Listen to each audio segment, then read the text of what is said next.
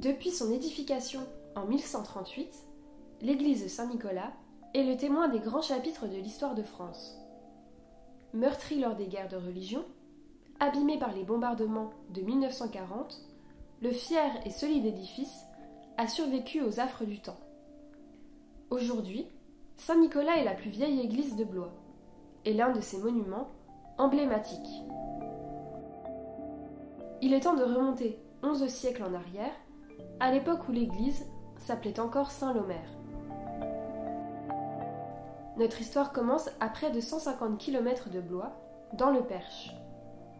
À la fin du IXe siècle, la région est en proie aux incursions vikings. Pour étoffer leur butin, les redoutables Scandinaves n'hésitent pas à s'attaquer aux édifices chrétiens et s'emparent des précieux objets liturgiques qu'ils abritent. C'est ainsi que les moines bénédictins de Corbion fuient leur monastère, emportant avec eux les reliques de Saint-Lomer. Ils trouvent refuge à l'abri du castrum d'une modeste bourgade des bords de Loire, Blois. En 924, le roi Raoul de Bourgogne leur octroie l'église Saint-Lubin, autour de laquelle les moines fondent une abbaye. La parcelle est située au cœur du faubourg du Foix, qui tire son nom du fiscus, une taxe royale prélevée sur ce domaine. De cette église primitive, on ne connaît presque rien, si ce n'est la date de sa destruction. En 1114, le monument disparaît en effet dans les flammes d'un incendie. À la suite de cet incident, le puissant comte Thibaut IV, dit le Grand, décide de reconstruire et d'embellir l'église abbatiale. De 1138 à 1186, les bâtisseurs se succèdent pour achever le chœur et la première travée de la nef. À la fin de cette première phase de travaux, les reliques de Saint-Lomer, de Sainte Marie l'Égyptienne et un fragment de la croix du Christ peuvent rejoindre le déambulatoire. Au Moyen Âge, le culte des reliques est une source de richesse tant spirituelle que commerciale pour les monastères. Les pèlerinages suscitent des foires et font vivre les artisans établis à proximité des églises, assurant ainsi la prospérité des villes. Les chapiteaux sculptés qui ornent le chevet de Saint-Nicolas semblent s'inspirer de cette vie bouillonnante. En levant les yeux, on reconnaît des acrobates, des bêtes monstrueuses inspirées des légendes populaires, ou des scènes de combat.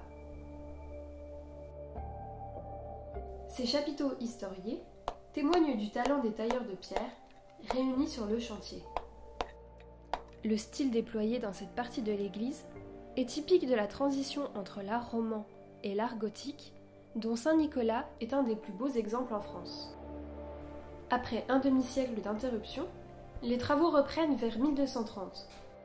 L'aménagement de la dernière partie de la nef, de la façade et du cloître entérine la fin de l'esprit roman, à la faveur d'un nouveau style architectural, le gothique.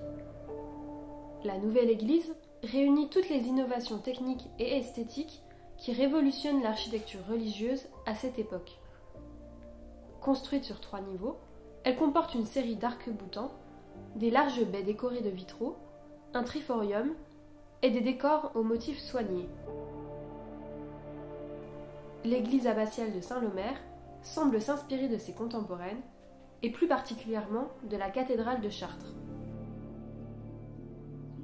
La paix qui règne sur le royaume de France depuis le XIIe siècle a permis aux cités de s'enrichir. Partout, on dépense sans compter pour bâtir de somptueux monuments gothiques. Blois n'est pas en reste. Vers 1250, la ville possède près de dix églises, dont la plupart sont construites ou embellies au cours de ces temps prospères. La guerre de Cent Ans, initiée en 1337, puis l'arrivée de la peste noire en 1348, succède à cet âge d'or. Blois se replie ainsi derrière ses murs en 1356, tandis que le prince noir, fils aîné d'Édouard III d'Angleterre, attaque Romorantin. Si la cité ne subit pas de siège important, mais des attaques ponctuelles, on décide tout de même de reconstruire l'intégralité de l'enceinte fortifiée. Bâtie de manière sommaire dès le XIe siècle, la haute et solide muraille est régulièrement restaurée jusqu'au milieu du XVe siècle l'abbaye de Saint-Lomer, joue un rôle essentiel au sein de ce système défensif. L'enclos de l'édifice et sa façade sont fortifiés et servent de rempart à l'ouest de la ville. L'église bénéficie toutefois d'un agrandissement avec la construction d'une chapelle absidiale en l'honneur de la Vierge. La jeune Isabelle de France, décédée en couche alors qu'elle résidait au château, y est inhumée en 1409. À la Renaissance, Blois est à nouveau menacé par une guerre, civile cette fois-ci.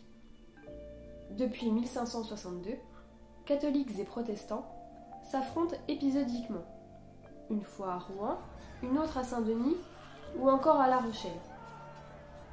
La cité blésoise n'est pas épargnée par ces violences. Les Huguenots l'assiègent le 7 février 1568 et pénètrent ses murs cinq jours plus tard, après avoir négocié sa reddition. Selon l'accord conclu, la ville devait échapper au saccage en échange d'une rançon de 100 000 livres. Mais les protestants en décident autrement. Blois est livré au pillage, tandis que ses établissements religieux sont dévastés.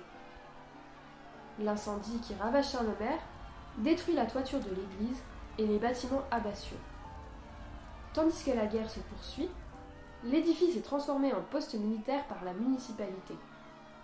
Ainsi, la délibération du 20 juillet 1569 demande que l'on porte force pierre sur les voûtes des chapelles et dans la grande tour, pour jeter entre les piliers si l'ennemi venait à s'y retrancher. Il faut attendre la pacification des troubles vers 1600 pour que la restauration du monastère soit lancée. On confie le redressement de l'abbaye à la congrégation de Saint-Maur, un ordre de bénédictins réformés en plein essor au XVIIe siècle.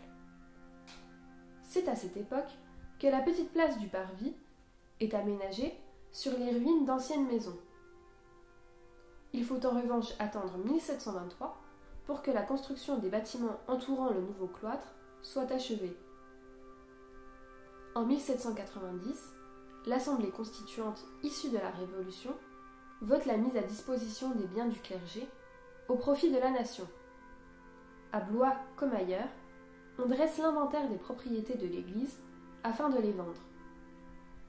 Les églises Saint-Honoré, Saint-Martin-des-Choux et Saint-Sauveur sont ainsi cédées puis démolies à cette période.